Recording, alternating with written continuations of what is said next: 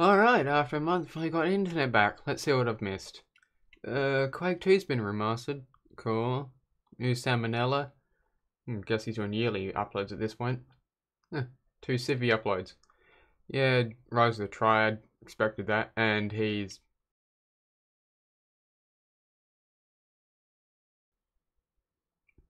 Son of a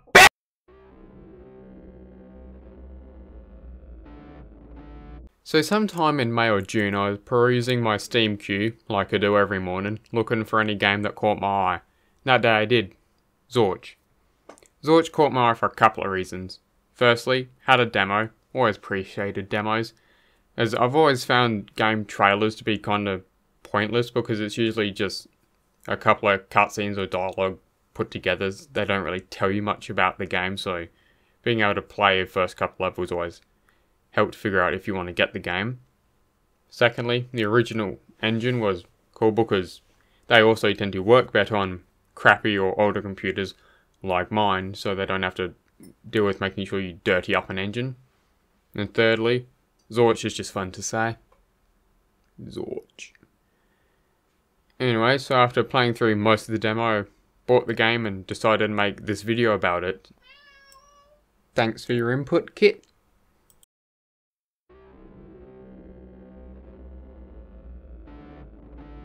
So the story is that in about a thousand years, humans steal a spaceship capable of interstellar space travel, which, to be honest, doesn't sound too far off what we're probably going to do.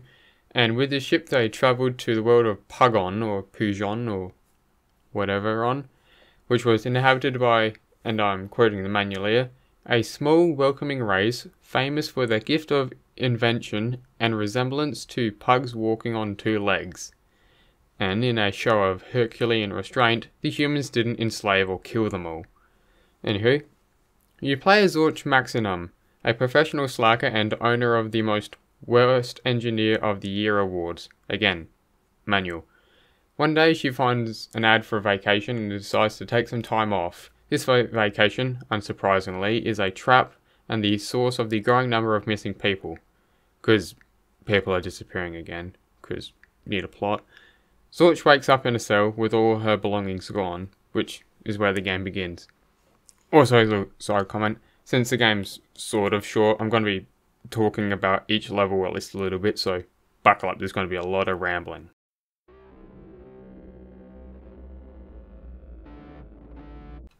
Episode 1 begins in your cell, and after some tutorials written on the wall, you get the wrench, which I find to be the most useless weapon in the game. Your primary attack is a swinging the wrench as a wrench. Your second attack is throwing it and it either comes back after a certain amount of time or after it hits something it comes back like a boomerang. I find it useless because you can kick, which which you're going to be using to open all the crates because they all open one kick. But luckily in the next room you get the shotgun which is a lot more useful. Has again two fire modes the primary is a quick shot, two-shot succession where you fire both barrels one after each other, and second fire is two barrels at once. I found the first one to be more useful because it can stun like the puddings. Oh yeah, crap, enemies.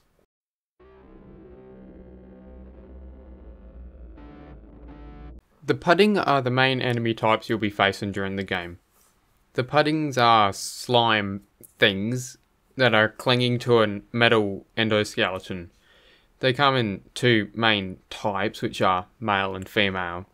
The male puddings are your standard trooper that you'll see in most boomer shooters, except they jump around a bit, like on top of crates or on over your head during combat. But the female puddings jump over a lot more, forcing you to keep more vigilant and moving around. I I don't know why, but the footage I've seen of Unreal was similar to it as, and that was my thought while playing it, of them being, their AI is vaguely, I'm assuming like a arena shooter player. I don't know, I've never played one because born after all of them shut down and I'll be damned before I play over Overwatch. Anywho, they all carry the same weapons, which are laser ball thing, a shotgun, chain gun, grenade launcher, or a missile launcher. The more powerful weapons show up later in the game.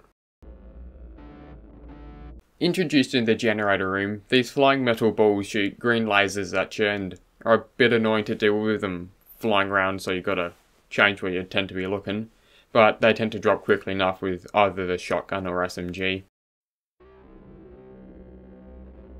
Look, if you get hit by the holo, it's your own fault. Just ignore them and you'll be fine. I don't know what they're supposed to be called, but they're a small bipedal robot with various weapons for heads, ranging from an SMG, flamethrower, rocket, and my new phobia, circular saw.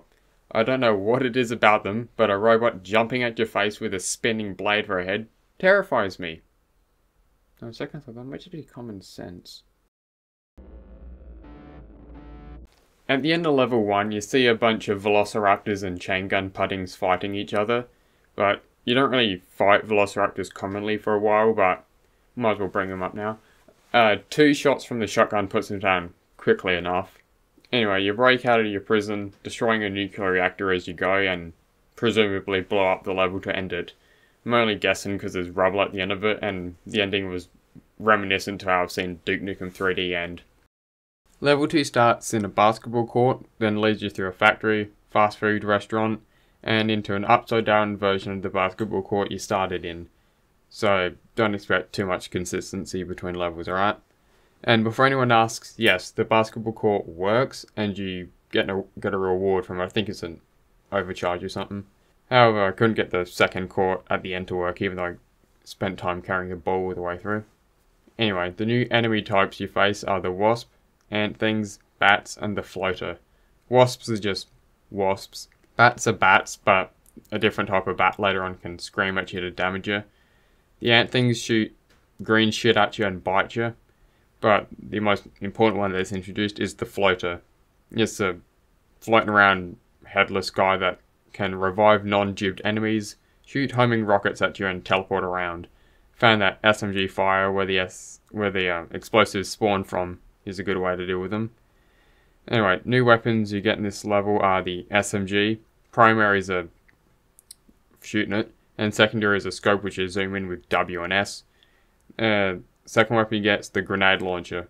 Primary is grenades, secondary is rockets. Found the rockets to be more useful because you can more accurately hit them before they can jump around, but slower bosses later on tend to work better for grenades. I don't remember where you get them, but you get remote, not remote, um, sensor explosives and remote bombs. So basically, just think they're trigger bombs from blood. Level 3 takes you to a canyon with exploding bugs that act like landmines. Just run by them or throw one of the balls that the game gives you to throw at them. They seem to like to play with them, like kicking them around. Don't know why. Uh, the balls the game gives you a beach ball, basketball, and a soccer slash football, depending on your political beliefs. Level 4 is a boss fight against the brain suckers. It starts off invisible, but a direct rocket blast tends to fix that rather quick. During the fight, it jumps at you and fires either homing or regular projectiles. Just circle strafe at it and shoot it until it dies. With episode 1 complete, I should probably talk about the power-ups that are in the game.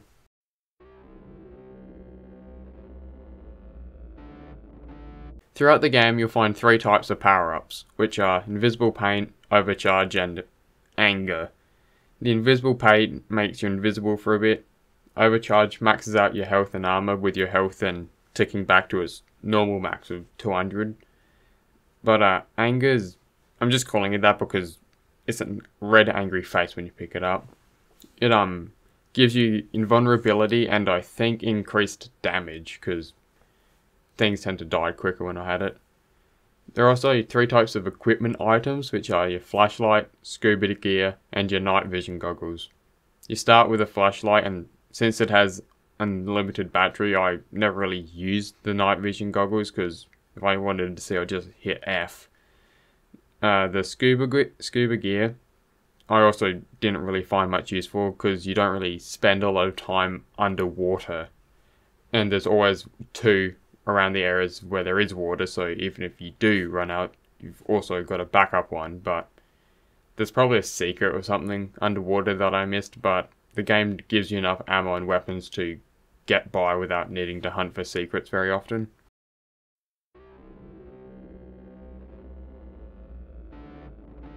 Episode 2 is where I found the pistol, the weapon that I probably should have used more. Its primary is a laser ball that can bounce and has a slight home to it. Secondary puts up a shield that allows uh, you to shoot through it, but enemies not to shoot you, which I always like when games give you shields, they allow you to do that. Anyway, the levels. Level 1 is an open construction site without five or more missile puddings than you think there should be. So you're constantly being bombarded. Anyway, you meet a new enemy, a metal flying skull that explodes on you on impact.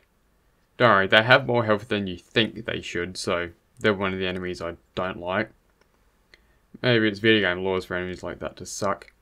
Highlights from this level is the flamethrower, which has a fairly useless primary attack despite its large range, but it's got a blood napalm cannon like secondary where it just fires a whole canister and lights a fairly big area. Anyway, level 2 is a pseudo boss fight where you get the last weapon. It's a brain that fires electricity or an electric explosion thing. And with your new weapon, you fight these medium-sized walking tripod brains with who basically have the same weapon as you. Uh, except there's a smaller projectiles and they have mini tripod brain things that also help during the fight. Level 3 is a radioactive dump. Plays basically the same as level 1. Level 4 is a boss fight against the big walking brain tripod that has your weapon.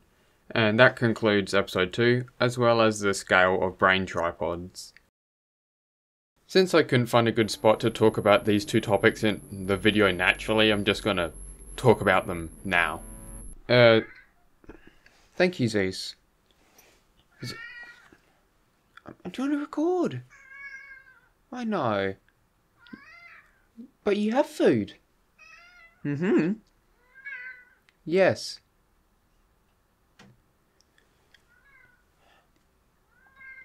You've got cookies in your bowl. I'm trying to record, alright? Shh. Zortch has background humour throughout the game and the manual.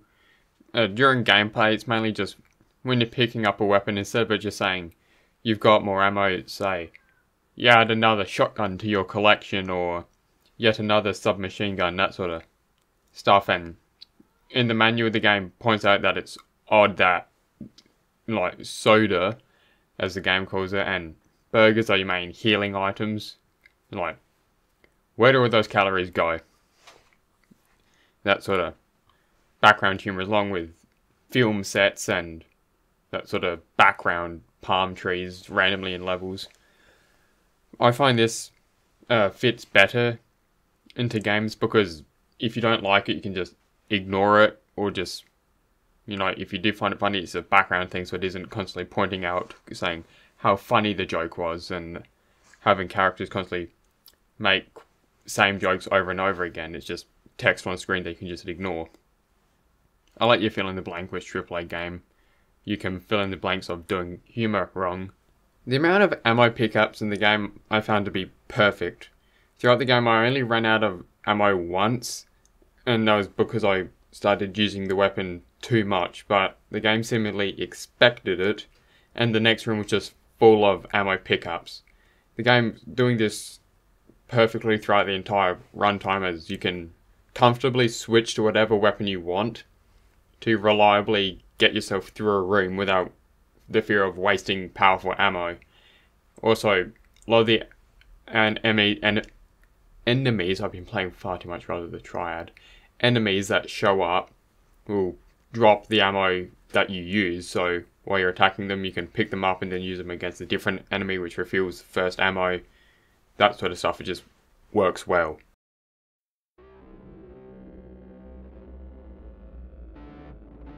Episode 3 begins in another industrial area, metal walls, tubes, corridors as far as the eye can see, but switches into swimming pool, water chamber things that you have to change the water level to progress. But luckily, the final non boss enemy types are introduced to add some interestingness to the level, which are animals with missiles attached to them and more flying things.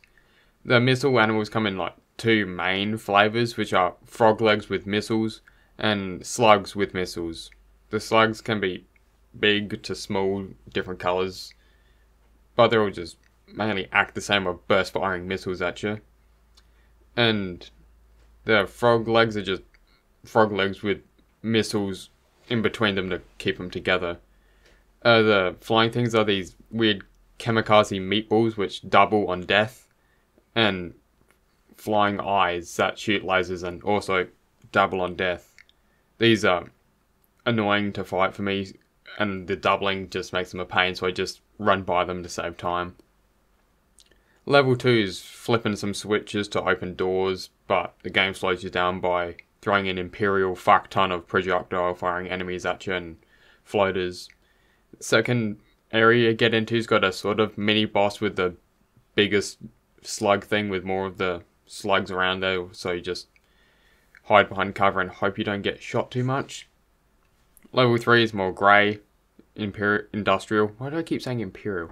Industrial grey, which is a criticism I do have. It is very samey, and none of the levels really stick out in my mind except for the canyon one from level 1. Uh, this does get fixed later on a bit, but I find it's a bit of an overuse of just industrial grey. Anyway, level 4 is new boss, the Bounty Hunter. Burst fires missiles at you, but circle strafing still works, so it isn't that big of a problem.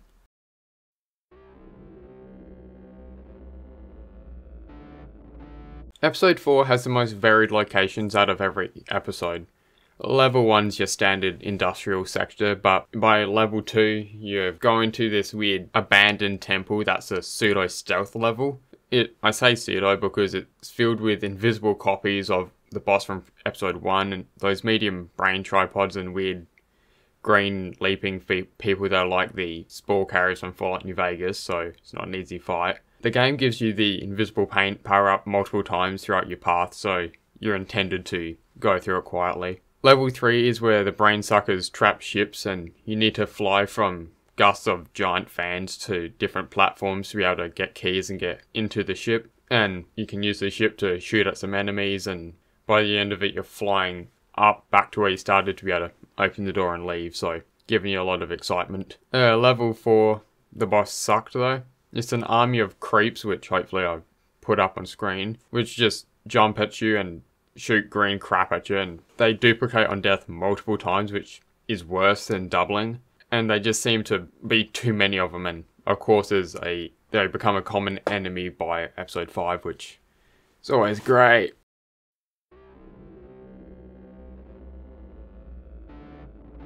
Level 1 has you in a train tunnel with a train going on loops around the area, which you can ride on to get around quicker if you want to.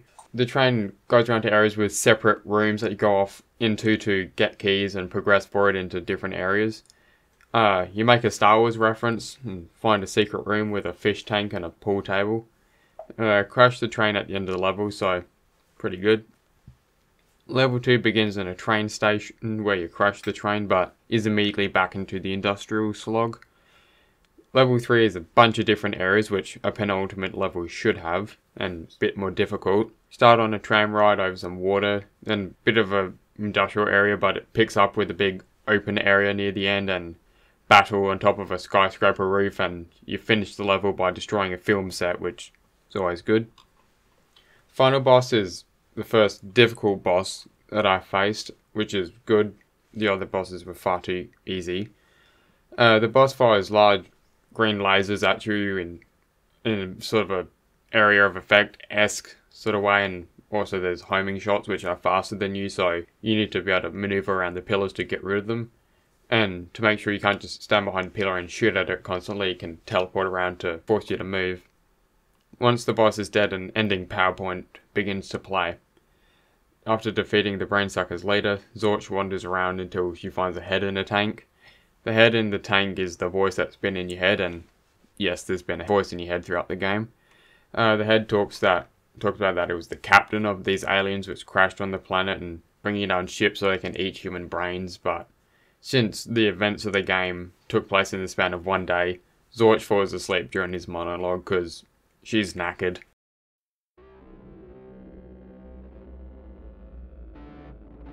What do you want me to say? It's good. Go play it. It's 750 Australian, so it's probably only like 30 cents American. Anyway, tally-ho.